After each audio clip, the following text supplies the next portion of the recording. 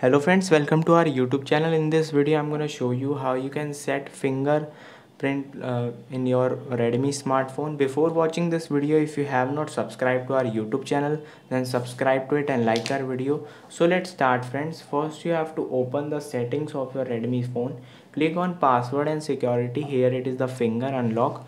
You have to first set a draw your pattern like this and then you have to add your fingerprint you have to just do this like this. You can see print a fingerprint.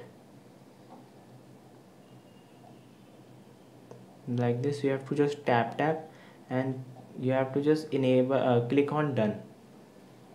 And here it is fingerprint one is added. If you want to add another finger you you have to just click on add fingerprint and it will be added I hope you like this video. If you like this video then subscribe to our YouTube channel for more helpful tips and tricks videos. See you next time.